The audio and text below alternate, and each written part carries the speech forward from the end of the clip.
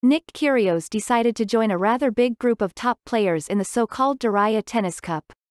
The competition will be played in Riyadh from the 8th of December, and the winner will pocket as much as $1 million.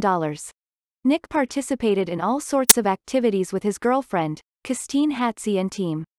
The Australian sensation seemed to be mesmerized by the number of nice activities that they were allowed to do.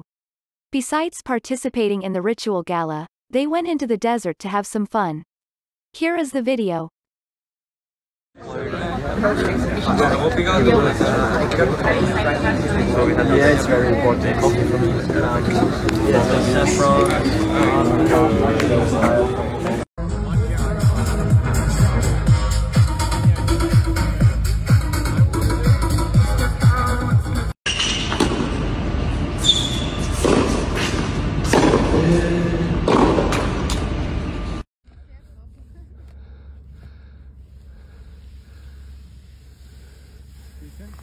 It's not bad.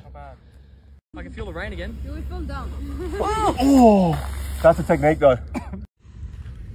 Out here in the Saudi Arabian desert, the sandboarding today wasn't successful because it was a bit, there was a bit of rain. But this one here is loving it. She's about to go on a horse and then we're gonna do some archery. Insane.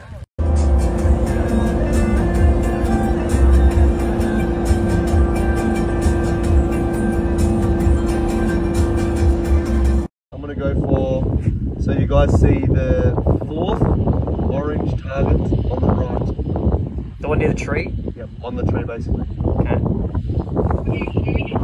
Hang on, let me show you. Just there, stand up. Got it. What time is it though? If, when I get the charger, I call you back. Oh yeah, it's still early. What time are you getting up tomorrow? Nice!